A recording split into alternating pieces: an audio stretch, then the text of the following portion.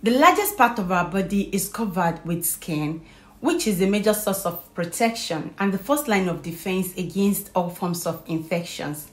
Hello, beautiful. My name is Adenike Adenaya, and you're welcome to today's episode of The Woman's Body.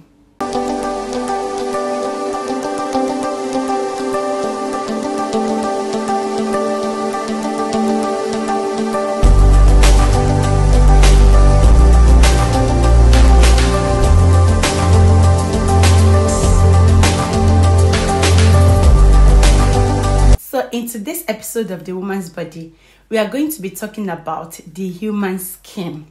Yes, the human skin, and not the woman's skin this time around, because we know that all humans are covered with skin. And since our skin have the same functions and the same basic composition, why not? But we ought to know also that we women tend to be more cautious of our skin than our male counterpart. So, nonetheless, we are going to learn all together in this episode of The Woman's Body. So, today, like I said, we are going to be talking about the functions of our skin and the basic structures of our skin. And I'm going to just say a few things on how to take care of our skin. So let us go directly into what we have for us today. But before I go on, kindly take a minute to subscribe to the channel if you have not done so. You can also click the bell by your right hand side so that you'll be able to receive notification. Is it right hand side or left hand side? Just click the bell so that you'll be able to receive notification whenever I drop a new video. And I also need to apologize for staying away for a long time now. I promise you that I'm back but not fully. Okay, so let us go directly into what we have for us today. First, we are going to start with the functions of our skin. Our skin protects us. Yes, our skin is a protective layer that covers our body and prevents the entry of any harmful substance or any pathogenic bacteria or any pathogenic microorganisms that may want to gain entry into our body. These things can only get into our body if our skin loses its integrity. As a result, we can be sick if our skin have an abrasion or lesion or any other opening. Secondly, our skin contains normal flora or bacteria that are harmless and protect uh, our body from the entry of other pathogenic microorganisms. These normal flora are regarded to as normal microbiota. They are numerous, they have been studied to be geographically diverse, and they are also very important in, in taking care of our skin. Like I said before, they protect us, they, um, they phagocyte any form of um, pathogenic bacteria that may want to gain entry into our body. We should not also forget that our skin is one of our five sense organs. You know, we have the eyes, we have the nose, we have the tongue, we have the hairs, uh, the hair, and then we have our skin, which means that our skin is responsible for the detection of stimuli in the environment. Our skin is very sensitive to touch. Our skin is sensitive to cold and to any other environmental condition. And lastly, our skin contains hair pores that protect that regulates our body temperature against that of the environment. That said, let us go into the basic structure of our skin. You know, normally we don't really go into full details of any structure on this channel.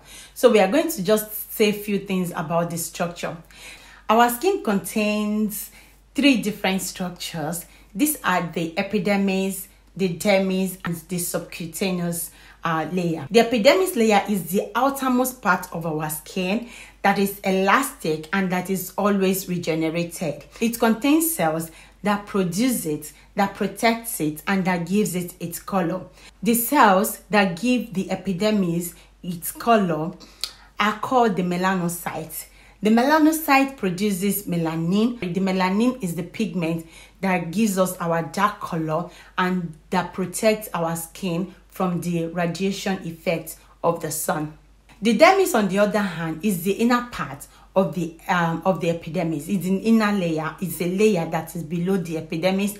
It contains the sweat gland, the hair follicle, and the sebaceous gland. The sweat gland, as the name implies, produces sweat that moves through the duct to the sweat pores on our epidermis layer. The hair follicle uh, as we all know, there are the small pores through which air grows on our skin. They help to regulate our body temperature, while the sebaceous gland produces oil that nourishes our skin and that prevents the entry of uh, that, and that prevents our skin from the invasion of any pathogenic organisms. Lastly, we are going to go to the subcutaneous layer. The subcutaneous layer is the innermost layer of our skin and what does it do? It contains the connective tissues and also contains the fat tissues. All these tissues are they help to give our skin its integrity and they also help to insulate our skin or our body in most cases. So, how do we take care of our skin? I would like to say that I am not in the best position uh to tell you how to take care of your skin. You know what is uh, good for your skin. Some people uh some people's skin are very sensitive to uh different products. So I'm not going to say, okay, use this product or do not use this product on this channel. But one thing that I want you to know is that some substances can actually uh, damage your skin or they can cause irritation to your skin. So do what is best for you and uh, avoid anything that can irritate your skin. Avoid anything that can uh, that can affect your skin in a negative way. And also, the most important thing is that we should try to take a lot of water. Plenty water intake do not only help our skin to glow but also protect our skin. They hydrate our skin. That is, they prevent our skin from getting dry. They also replenish our skin. I really hope you enjoyed today's episode of The Woman's Body.